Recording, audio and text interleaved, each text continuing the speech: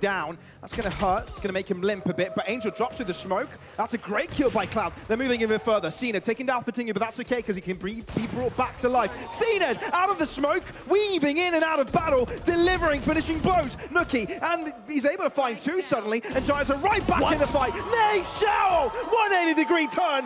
What a wonderful display. On a dime, kill after kill after kill. You think he gets maybe one there. Oh, two if he's lucky. No, no shot. Instantly tagging on. How easy did he make it? Did he make that look? Right, and it was it wasn't only just Shao, it was cNed as well.